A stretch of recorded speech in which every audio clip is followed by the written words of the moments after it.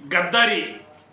गद्दारीसाठी मराठा मुख्यमंत्री आणि कसबा निवडणूक.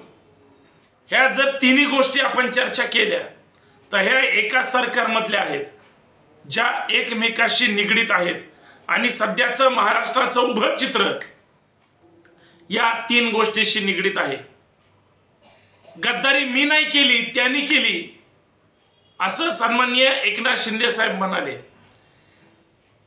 गद्दाराला गद्दारीची जाणीव झाल्यावर तो लाचार होतो तो बदनाम होतो आणि तो संपतो. हे ज्यावेळेस लक्षात येतं त्यावेळेस तुम्ही गद्दारी करून कुठल्या पदावर बसला? तुम्ही गद्दारी करून काय मिळवलं?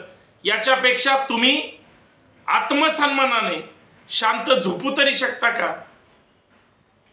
तुम्ही लोकांच्या समाजाच्या मनातून उठला कारण तुमच्या मनात खोट आहे. तुमच्या मनात आर्थिक व्याभिचार आहे. तुमच्या मनात सडलेला भ्रष्टाचार आहे. तुमच्या मनामध्ये घाणेरड्या वृत्तीनं पिसाळलेला तथाकथित मनुवाद आहे. या सगळ्या गोष्टी जर एकामेकाशी निगडीत केल्या तर मिंदे सरकार आलं याच्यामध्ये काही वेगळं असायची काही गरज नाही. कारण विकली गेलेली माणसं विकल्या गेलेला समाज आणि विकलेली व्यवस्था. ही व्याभिचारीण होते. ती परत कुणाशी कसं वागते हे वेगळं सांगायची गरज नाही. आम्हाला आमचं अस्तित्व काय आहे हे जोपर्यंत कळणार नाही तोपर्यंत गद्दाराला त्यांची जाणीव कशी काय कळणार? जर उद्धव ठाकरेंचं महाविकास आघाडीनं निर्माण केलेलं सरकार चाळीस आमदारांनी गद्दारी करून आणि पन्नास खोके घेऊन बंडखोरी केली आणि सरकार पाडलं तो माणूस कसा काय म्हणू शकतो की गद्दारी मी नाही केली त्यांनी केली? परत त्याच्यामध्ये महत्वाची गोष्ट. त्याच्यात महत्वाची गोष्ट ही की गद्दारी बंडखोरी व्याभिचारी ही चाळीस आमदार फुटल्यानंतर लागलेले शब्द आहेत. ती लागलेली विरोधावली आहे. अगोदरची आहे का? अगोदर कुणी चाळीस आमदारांना किंवा शिंदेंना गद्दार आणि बंडखोर म्हणत होतं का? महाराष्ट्रात तशी राजकीय परिस्थिती होती का? हिंदुत्वाचाच तुम्ही म, झालर पांघरता ना? हिंदू महागाईनं मरतोय बेरोजगारीनं मरतोय. हिंदू जातीयवादात मरतोय हिंदू धर्मवादात मरतोय. हिंदू आरक्षणासाठी मरतोय. हिंदू प्रतिनिधित्वासाठी मरतोय. हिंदू सरकारी नोकऱ्या मिळत नाही म्हणून मरतोय. हिंदू शेतकऱ्यांच्या पिकाला हमी भाव मिळत नाही म्हणतोय म्हणून मरतोय. हिंदू अ हिंदू हिंदू हा बेरोजगारी महागाई धर्मांधकांड राजकारण या सगळ्यांनी तर मरतोच आहे. परंतु सगळ्यात महत्त्वाचा हिंदू हा हिंदू म्हणून मरतोय. मग हिंदूंची व्याख्या कशी काय सांगायची? या व्यवस्थेने ज्या गुलामाला गुलामाची जाणीव करून दिली तो गद्दार झालाय बंडखोर झालाय. पैशावर विकला गेलाय दुसऱ्याचं घर भरायचं होतं म्हणून. भाजपची सत्ता महाराष्ट्रात आली नाही. आणि फडणवीस आणि त्यांची मंडळी सत्तेवर बसली नाही. म्हणून फडणवीसांनी चाणक्याची शेंडी वडून जानव्याची गाठ मारून ज्या पद्धतीनं राजकारण केलं आणि ज्या पक्षाच्या सर्वोच्च नेत्याच्या बोटाला धरून महाराष्ट्रात सत्तेवर आले तोच हात तोडून टाकला. सरकारमधून म्हणजे कोसळा लागलं. एवढी भयानक परिस्थिती शिवसेनेवर आणली उद्धव ठाकरेंवर आणली. आणि तरी कुठल्या तोंडाने एकनाथ शिंदे साहेब म्हणू शकतात की मी गद्दारी केली नाही गद्दारी दुसऱ्याने केली? विकलं गेलंय आणि विकत घेतलंय ह्या दोनच गोष्टी घडल्यात त्याच्यामुळे तुम्हाला बोलायला तोंड नाही. हा झाला एक मुद्दा. दुसरा गुलाबराव पाटील असं म्हणतात मराठा मुख्यमंत्री व्हावा. म्हणून ही काय बंडखोरी किंवा गद्दारी केली? मराठ्यांचा कर्तृत्वाचा इतिहास आहे. मराठे गुलाम लाचार किंवा गद्दार नव्हते. मराठे लढणारे होते. आणि तुम्ही जातीपुरतं मर्यादित जर करत असाल तर विचारांचं काय? पंजाब सिंध गुजरात मराठा तो समूहाचक मराठा आहे. सगळे सगळा समाज गद्दार आणि बंडखोर होता का?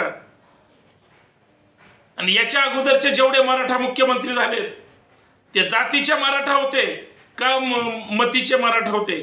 एकनाथ शिंदे मराठा आहे ना? मराठा आरक्षणाचं काय झालं? का चव्वेचाळीस पंचेचाळीस लोकांनी स्वतःचे प्राण दिले? त्याच मागच्या सरकारमध्ये हेच मराठा मंत्री नव्हते का? किती मराठ्यांचं भलं केलंय आणि करू शकतील? त्याचं नाव एकनाथ शिंदे.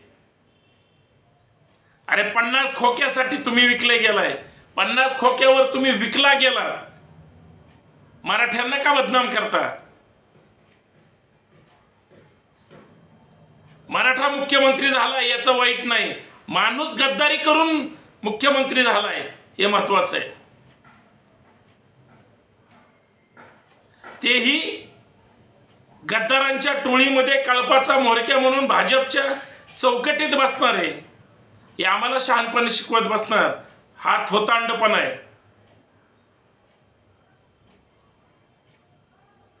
आणि पाच सहा महिन्यापूर्वी जी बंडखोरी गद्दारी मराठा आता जात सहा महिन्यांनी का आठवली एवढ्या दिवस काय झालं? तर हा मराठा गद्दार होता. मराठा बंडखोर आणि पैशावर विकला गेला. एकट्या एकनाथ शिंदेमुळं सगळ्यांवर शिक्का बसेल हे वेगळं सांगायची गरज नाही. आणि भाजपची लाचारी करून किंवा काळपात बसून असा कुठला पराक्रम केलाय? आणि जे महाविकास आघाडीमध्ये होते ते काय मराठा नव्हते का? त्यांच्यावर संशय घेता? संशोधनाचा विषय. आणि जे मराठ्यांना काही देऊ शकत नाहीत लाचार आहेत त्यांनी मराठा पण सांगू नये. सगळ्यात महत्त्वाचा तिसरा मुद्दा. कसब्यात पोटनिवडणूक सुरू आहे चिंचवडमध्ये सुरू आहे. एक नंबरला धंगेकर आणि चिंचवडमध्ये दोन नंबरला ते काटे नावाचे उमेदवार आहेत महाविकास आघाडीचे. अकरा वाजेपर्यंत आज पोटनिवडणुकीचं मतदान आहे. साडेआठ टक्के फक्त मतदान झालंय अकरा वाजेपर्यंत. म्हणजे कदाचित मतदारांनी पाठ फिरवली का नाही माहीत नाही. पण मतदान करू नका कारण ते दंगेकरांच्या हक्काचं आहे. म्हणून त्या मतदारांना मारलं जात आहे दोन दिवस झालं पैशाचा पाऊस पडतोय कसबा विधानसभा मतदारसंघात. चाललंय काय? अरे जगात मोठा पक्ष असणारी भाजप लाचार आणि एवढी नाकाम कशी काय झाली? की लोकांना पैसे देऊन त्या ठिकाणी विकत घ्यावं लागतंय. म्हणून या चर्चेचा कनेक्शन मी गद्दारीपासून रासनेपर्यंत लावला. कारण भाजप कर्तृत्वानी मोठी होऊ शकत नाही. एक तर दुसऱ्याच्या जीवावर. किंवा पैशावर. सोडाचं घाणेरडं राजकारण करून किंवा खुनशी सत्ता पिपासू वृत्तीमुळं. आणि हे सगळं जर एकत्र केलं तर त्याचं नाव आहे भारतीय जनता पार्टी. विकृत मानसिकतेची लाचार पार्टी. जे फक्त खुनसाड मनाने विचाराने आणि कृतीने गुलाम करून विकत घेतलं जातं याच्यापेक्षा दुर्दैव काय असू शकतं? म्हणून मतदारांनी जागृत राहिलं पाहिजे. या बंडखोर गद्दार आणि मनुवादी सरकारला. आणि खरं तर मूळ प्रश्नापासून पळून जाणाऱ्यांना आमचे उद्योग पळवले महागाई वाढवली एवढंच काय? बेरोजगारीवर बोलायला तयार नाही. एवढं सगळं झालं तरी धर्मांध आणि जातीवादी आमच्या महापुरुषांची बदनामी केली जाते. असे असंख्य असंख्य प्रश्न आहेत. ज्याच्यावर थोबाड उघडायला भाजपची आणि मिंदे गटाची मंडळी तयार नाही. अशांना सत्तेत सुद्धा राहण्याचा अधिकार नाही म्हणून निवडणुकीत सुद्धा मतदान करू नका आणि आपल्या धडावर आपलं डोकं ठेवून आपल्याच मेंदूनं विचार करा आणि लातारांच्या फौजा ह्या मस्तवाल होऊ देऊ नका. साहेब जातीपातीचं किंवा येडे गबाळ्याचं काही काम नाही. घाणेरडं बोलून सोडाचं राजकारण करून ईडीच्या आणि सीबीआयच्या जोरावर बाजार मांडू शकता. तुम्ही लोकांना विकत नाही घेऊ शकत लक्षात ठेवा. आता एकच लक्षात ठेवा. कुणाचंही खा मटन गद्दारांना आणि बंडखोरांचं दाबू नका बटन. हेच अंतिम सत्य आहे. धन्यवाद. जय जिजाऊ.